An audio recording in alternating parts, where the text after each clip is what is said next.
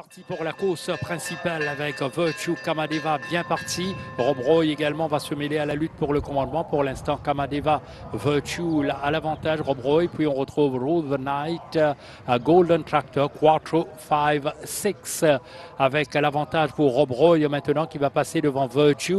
Quattro 5, 6, Kamadeva. Ensuite, on retrouve Golden Tractor et the Night qui est en queue de peloton avec Rob Roy qui va tenter de se démarquer. Attention, il y a une double chute derrière soit Rule the Night malheureusement, mais on va se concentrer d'abord sur la ligne droite de cette épreuve avec Rob Roy, euh, Virtue, euh, puis euh, on retrouve Kamadeva, il y a Quattro 5, 6 en quatrième position, mais à l'avant Rob Roy, Virtue, Rob Roy, Virtue à l'intérieur, à l'extérieur il y a Kamadeva.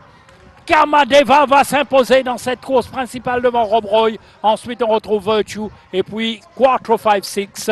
Malheureusement, cette double chute qui a engagé Golden Tractor et Rule the Night qui était en queue de peloton. Oui, euh, encore euh, une course marquée par des chutes. All the Night et, Golden Tractor. All the Night est, est, revenu, il vient de passer la ligne d'arrivée sans son jockey.